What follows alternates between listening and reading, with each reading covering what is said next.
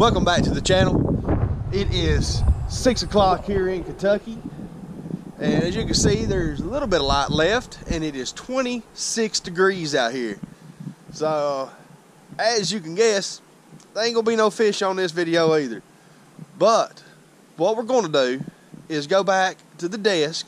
We're gonna sit down and we're gonna look over my personal favorite jigs. So let's get at it. Get in here inside this warm house and check out the light went off and we are dark. So let's go check out some jigs. Um, I'm gonna kind of go over about four jigs uh, that I like fishing. Uh, more so, this one jig that I fish most of the time, and I will show you that. But the four jigs we're gonna go over is gonna be skipping jig, flipping jig, swim jig, and a football head jig. But first, we're going to start out with this beauty right here in a shad color. Uh, I guess you could say it's a bluegill color, bluegill shad color. Have a trailer done on it. But this is a swim jig. And your swim jigs, as you can see, the head of it is tapered like and the uh, that allows it's like a you know slender head real slender right here. And that allows the uh, the the swim jig to move through the water uh, a little bit better you know it's kind of like a blade style so it, it swims through the through the water.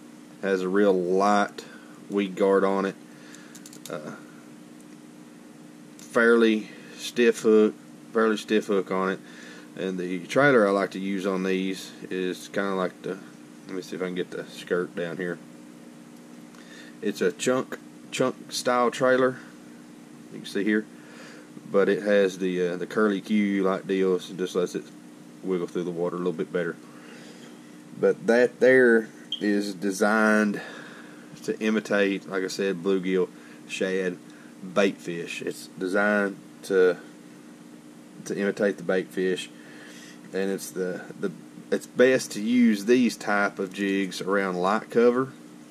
Uh, you're going to be swimming it like on top of grass. You know, going to be swimming around grass through light cover, uh, fishing it kind of like a like a spinner bait or a real shallow crankbait.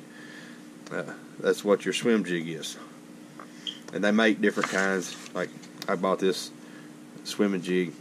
You can kind of see the the head on it. It's a little different shaped. It's kind of a wild looking color. It's got a rattle on it. Uh, this is the uh, white shad color from Booyah. I ain't never fished with a jig head like this, so that's going to be kind of interesting to use. The next one we're going to jump into is let's go with a skipping jig.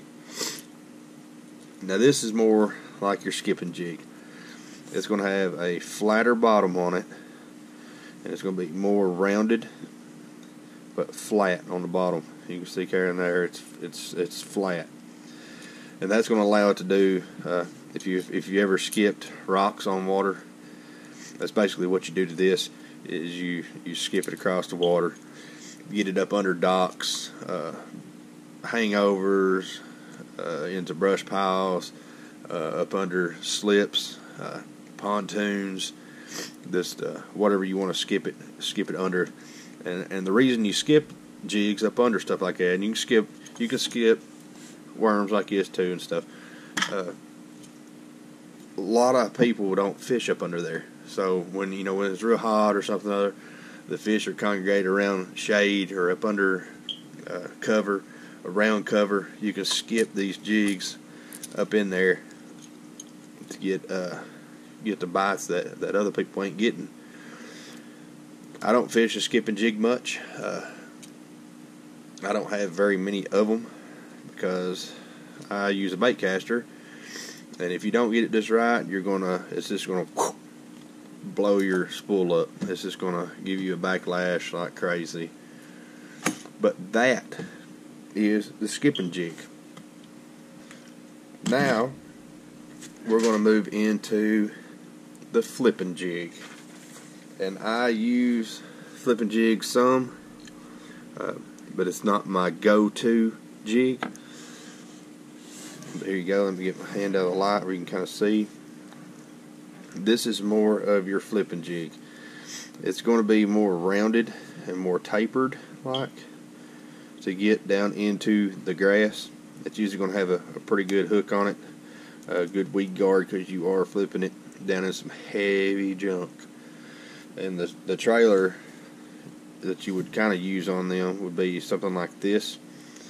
And that would just give it more of a slender body. Uh, you might not want to use some with a lot of appendages sticking out of it because it was stick in the grass.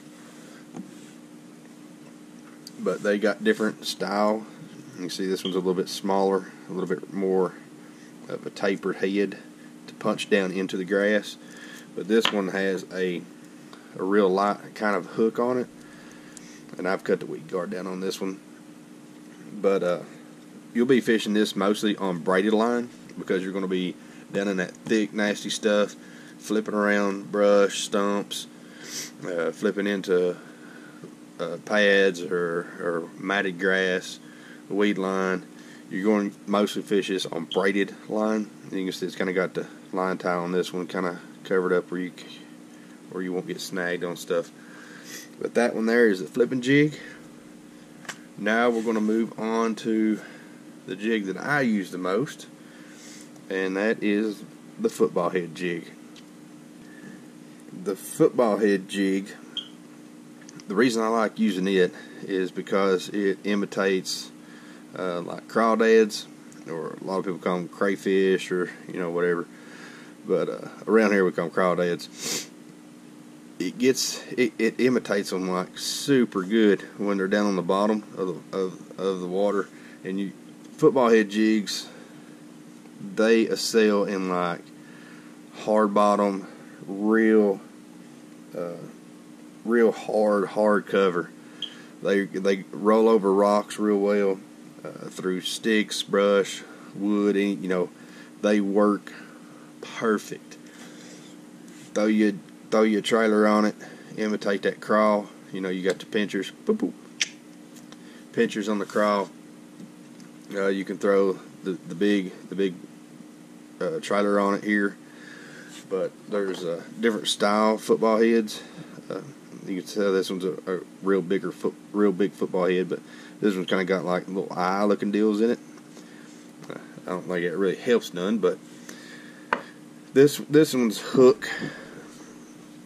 You can see if it's like sitting on the water it's more pointing up but those are alright but I like more of the flat style.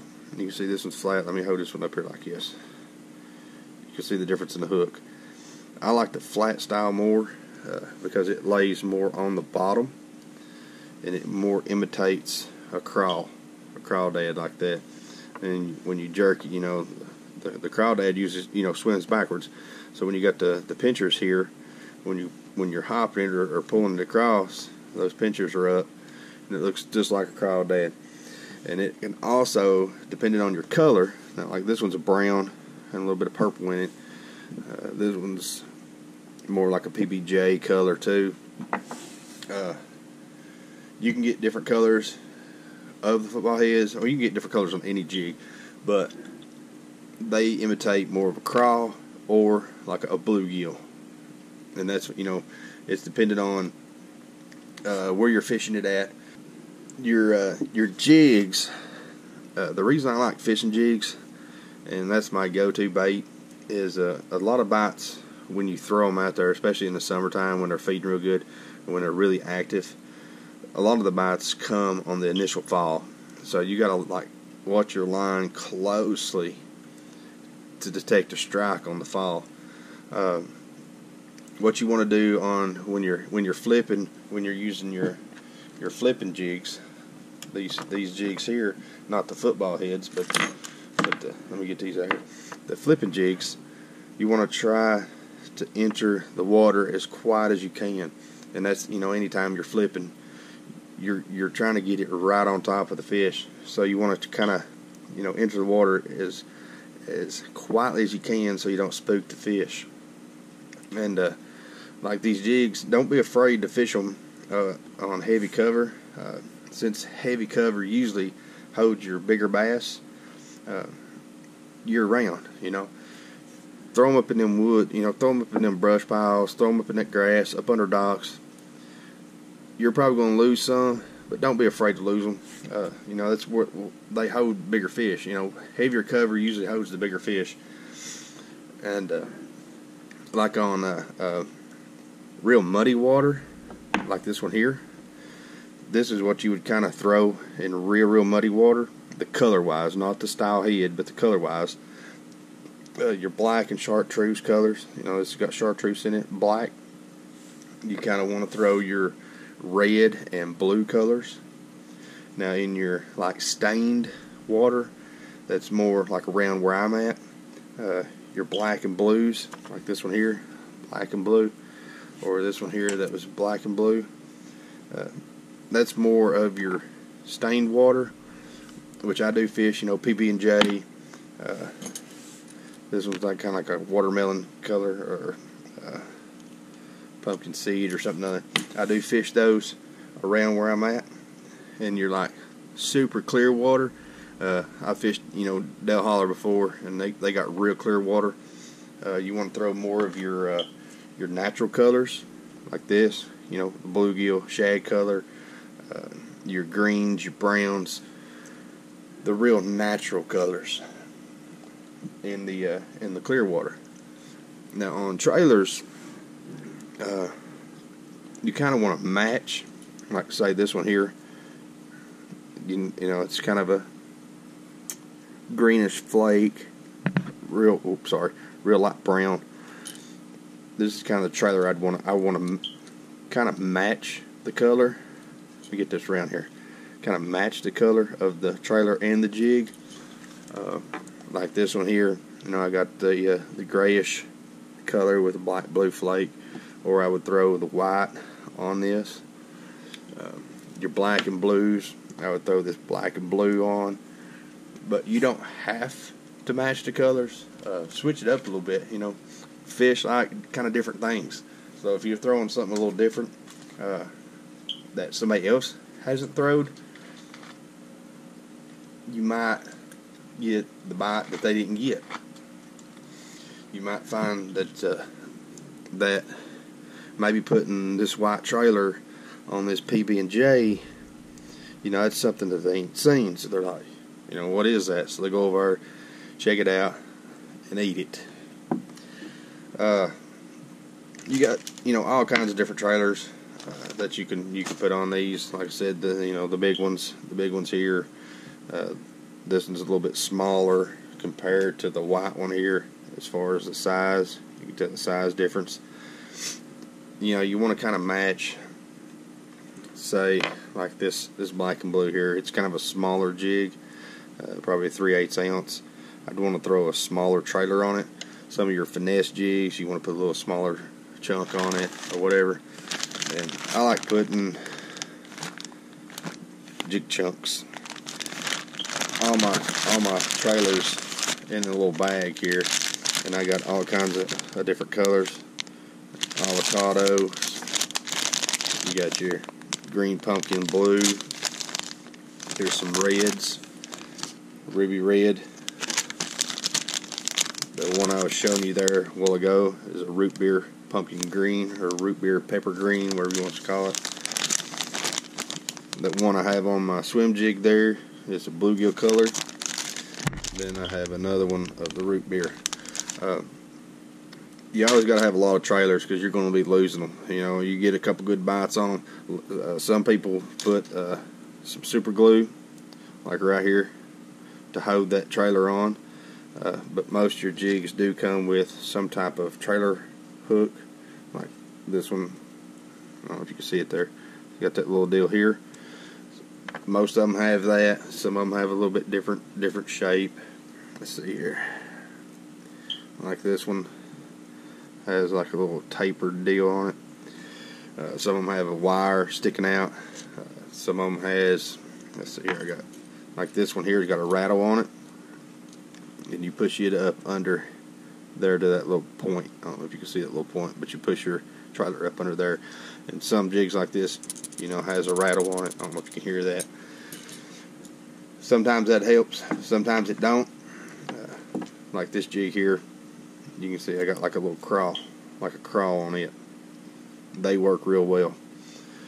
Uh, that's kind of it on the jigs. Uh, I kind of hope hope you guys that that might not fish these that uh, are kind of intimidated by them or something other get out there and throw them. Uh, you're not going to catch numbers on jigs. They're more of size. You know, it, you ain't going to catch. Well, I, I ain't to say that because you could catch 10 or 12 fish a day, but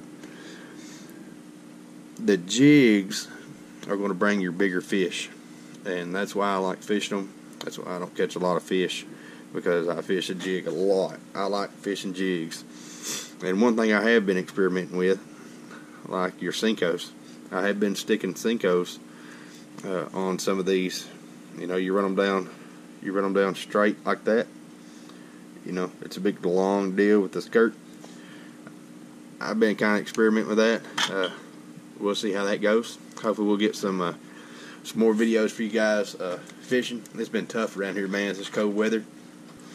But hey, thank you guys for for the the new subscribers that subscribe to me.